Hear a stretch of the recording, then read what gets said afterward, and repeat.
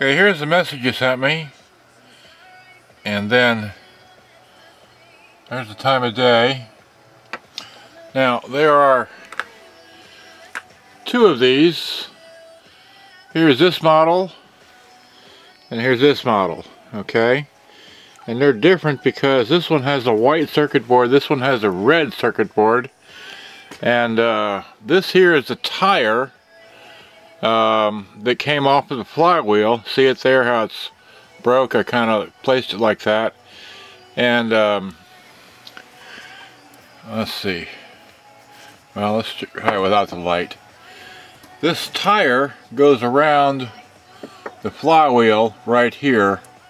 And that's what came off of this one here. And then this part right here, my fingernail is, that also is a, is a drive wheel and without it's hard to explain. That's a drive wheel there and this is a tire but this one here went to went to goo on the uh, on on this deck here. And the, while this will still play a cassette uh, and such it will not uh, rewind or fast forward terribly well because this rubber tire is no longer there. It's now the little wheels which are uh, this one here wait this one here and this one here they drive off of the rubber tire whereas um, this this one here drives off of the little tiny diameter right there okay? Hard to explain all this but that's what it all does okay so this one here, whereas it doesn't have the rubber tire on there anymore, it will still, oh, I had to flip tape over. this will,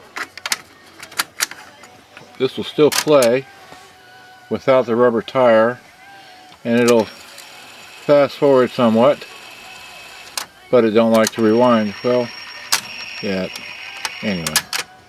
But it will play seeing. But none of them want to get with me. My threads are fresh. Anyway, I don't want to sell that song. Okay. And then let me show you this here. Uh, this is that one there. That's a um, T whatever 1000A. And this is a 1000. So there's a difference of the speakers as well between the two different models. So Here's this model here, which is, I guess, a newer model because the circuit board doesn't go beyond, um, behind the uh, cassette deck, whereas this one here, it does go behind the cassette deck. See how this one has the recording uh, switch here, and this one here has the recording switch located here, operated by a, a, uh, a wire, or anyway. Okay, so, but going back to your original question, here is the uh, AM-FM uh, thing. Those are those are the wires and where they go. Hopefully you can see that in the video.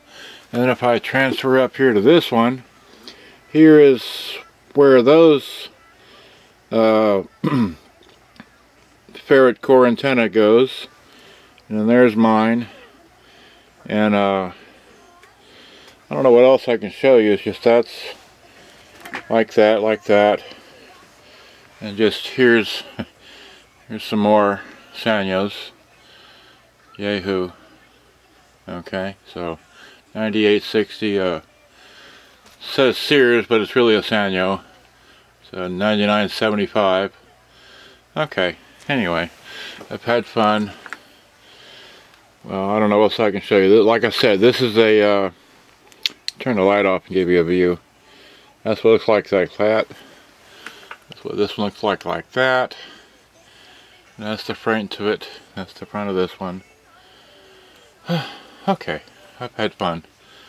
Hopefully you've seen it. You can pause the video at the right time and see the differences of these here and that's all I know. Okay? So uh, hopefully you get yours fixed. Thanks. Bye-bye.